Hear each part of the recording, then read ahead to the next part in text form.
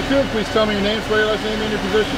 Okay, it's John Fisher, J-O-H-N, F-I-S-H-E-R, Battalion Chief, San Diego Fire Rescue. Thank you, sir. Can you tell us what happened tonight?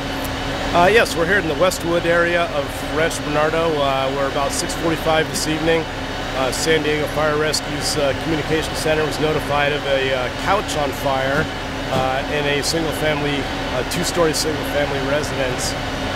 Uh, units arrived quickly uh, to find the uh, most of the uh, downstairs rear of the structure involved in flames, uh, with a uh, substantial exposure to the uh, structure next door. Uh, units made an aggressive attack on the fire, uh, knocked back the flames, um, and prevented further spread from the uh, downstairs to the structure next door or to upstairs.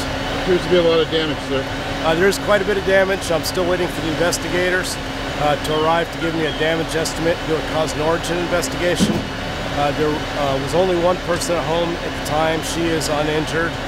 Uh, three people will be displaced, uh, and unfortunately, uh, one cat was deceased. One, one cat did pass away. Yes. And will the Red Cross be coming out, sir? Yes, the Red Cross is coming out to give assistance to the residents. Any injuries to firefighters? Uh, no injuries to firefighters. And which fire departments help?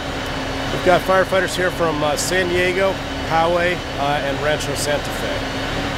Anything you'd like to add, sir? I think that's about it for right now. Thank you so much for your time.